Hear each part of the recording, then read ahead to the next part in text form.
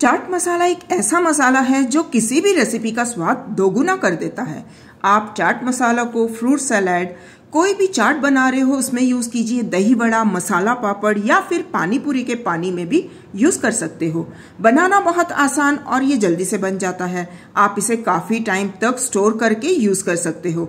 तो चलिए शुरू करते हैं आज की रेसिपी चाट मसाला बनाने के लिए यहाँ पर मैंने चार बड़े चम्मच जो है जीरा का लिया है। चार बड़े चम्मच मैंने धनिया लिया है, ये मैंने अमचूर पाउडर लिया है तो ये मैंने लिए हैं दो बड़े चम्मच, साथ ही में एक छोटा चम्मच मैंने यहाँ पर काली मिर्च का लिया है, चार मैंने यहाँ पर लौंग ली है, एक चौथाई चम्मच हींग की ली है, ये अदरक का पाउडर है जिसे सौंठ भी कहते हैं, ये आधा चम्मच लिया है, एक बड़ा चम्मच यहाँ पर मैंने लिया है सौंफ का, ये हमने काला नमक लिया है तो ये हम, हमने लिया है एक बड़ा चम्मच, साथ ही में मैंने यहाँ पर दो चम्मच जो हैं, छोटे चम्मच कश्मीरी लाल मिर्च पाउडर लिया है और साथ ही में एक छोटा चम्मच हमने पर यहाँ पर अजवैन लिया है।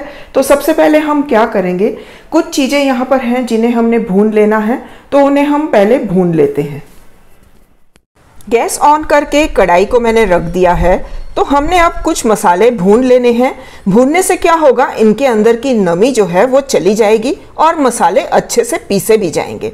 तो सबसे पहले मैं इसमें डाल देती हूँ धनिया। इसी के साथ हम डाल देंगे जीरा। साथ ही में हम डालते हैं सौंफ और हम डालेंगे अजवैन। तो इन सारी चीज़ों को हमने हल्के हल्के लो टू मीडियम गैस पे भून लेना है। आप कोई भी चटपटी चीज़ जब भी बनाओ तो अगर आप उसमें ये थोड़ा सा चाट मसाला डाल दोगे तो आपकी उस डिश का स्वाद जो है और भी बढ़ जाएगा। तो चलिए इसे हम थोड़ा थोड़ा भून लेते हैं दो मिनट के लिए। तो मीडियम फ्लेम पे इसे सेकते हुए दो मिनट हो चुके हैं। तो अब मैं क्या करूँगी, इसमें डाल दूँगी काली मिर्च, और साथ ही में जो हमने लौंग लिए हैं ना, वो भी हम डाल देते हैं। तो इन दोनों चीज़ों को भी इसमें मिला के हम एक मिनट और इसे सेक लेते हैं। तो यहाँ पर एक मिनट और हो चुका है। टोटल हमने इसे कैसे तीन से चार मिनट तक सेका है?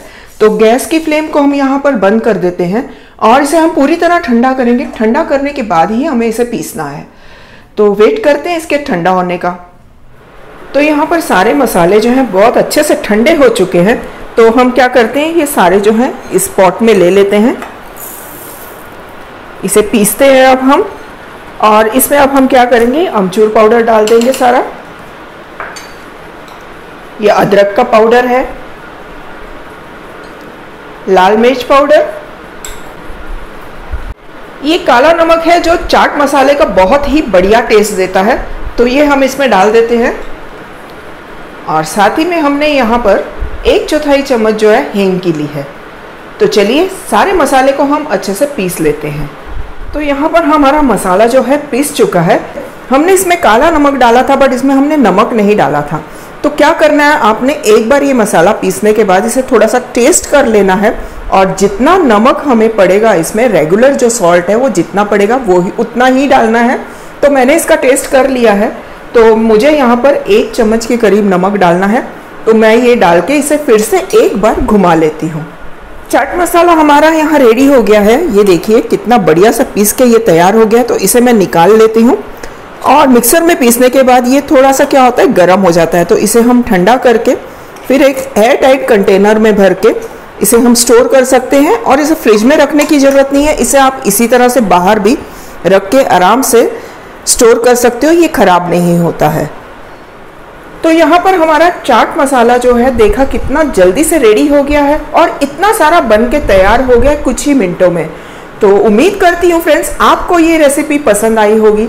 रेसिपी पसंद आई है तो फ्रेंड्स एक लाइक ज़रूर कर देना और मेरे रेसिपी को अपने फ्रेंड्स और फैमिली के साथ शेयर ज़रूर करना और मेरे चैनल को सब्सक्राइब करके बेल बटन को ज़रूर दबाना, जिससे आपको मेरे अगले रेसिपी की नोटिफिकेशन सबसे पहले मिल जाएगी। फिर जल्द ही मिलेंगे एक नई रेसिपी के साथ।